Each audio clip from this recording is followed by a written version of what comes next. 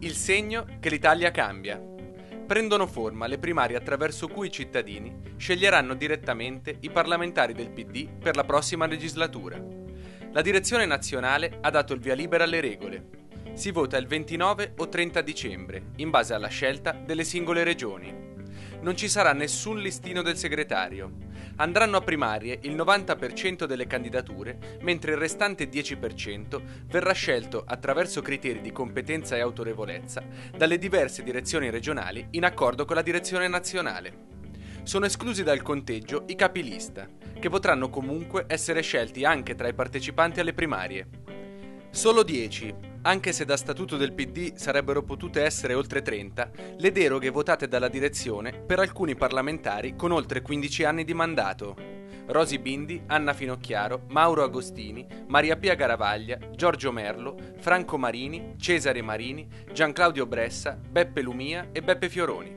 Questi dieci nomi dovranno comunque passare attraverso il voto delle primarie per tornare in Parlamento.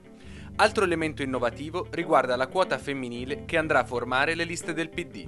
Nel caso in cui si scelga di dare due preferenze, sarà obbligatorio indicare un nome maschile e uno femminile. Nel caso in cui si scelgano due uomini o due donne, la seconda preferenza verrà annullata.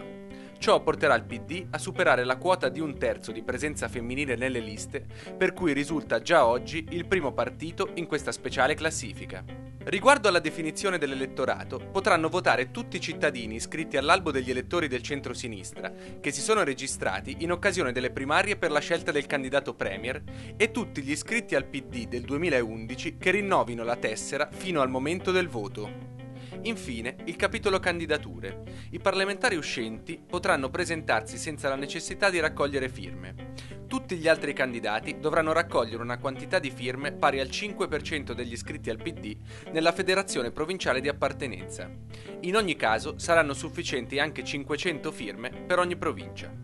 Spetterà dunque alle federazioni provinciali presentare le rose dei candidati, che possono raggiungere al massimo il doppio del numero dei candidati spettanti alla provincia nelle liste circoscrizionali.